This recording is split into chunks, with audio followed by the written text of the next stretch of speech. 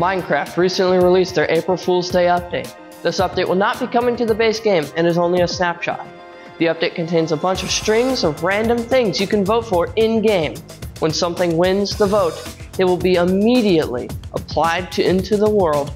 You can also go to the new dimension, the moon, by going simply high enough into the sky. You'll find cows on the moon all doing the moonwalk by walking backwards. Minecraft is very creative on April Fools, and I love these updates because they show the potential for what can be added. Remember that none of this content will be added to the Trails and Tales update. Super Mario Bros. movie is finally in theaters. You can watch it on any showtime the theaters have, so long as the theater is not full. Given how hyped up the movie has been, it's no surprise the theaters will be packed. Well, gotta store my stuff in this supposed shulker box, cause you know, there's a mystery with every world I go to. Wow, it's a shulker box. Ow, I got hit. Yeah, yeah. Why, why am I floating, guys? Guys, why am I, why am I, why am I floating, guys? Uh, wait a minute.